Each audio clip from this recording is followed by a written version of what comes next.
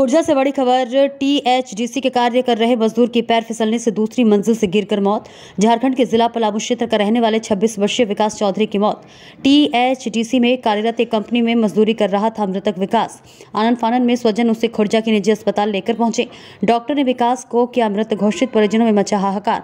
Police ने शव को कब्जे में लेकर पोस्टमार्टम के लिए भेजा। बुलंदशहर के थाना अरनिया क्षेत्र में है कार्यरत टीएचडीसी। देखिए बुलंदशहर से धर्मेंद्र निगम की खास रिपोर्ट। सोनू चौहान। क्या हुआ था? सर, ऐसे वो काम कर रहा था, फ़ोन पे बात कर रहा था, और फिर पता नहीं कैसे गिरा, वहाँ पर थे नहीं, फिर नीचे गिरने के बाद में और आदमी पूरा हला उला किया कि कोई आदमी गिरा है, हम भी आए, देखे तो गिरा हुआ है तो उसको हम लोग उठा के लेके गए, फिर बाद में एंबुलेंस आया, और कैलाश हॉस्पिटल में ले जाके उसको एंट्री करवाया, उधर में पता चला कि ऐसे डेट हो गया है, हमारा ठेकेदार भी साथ में था।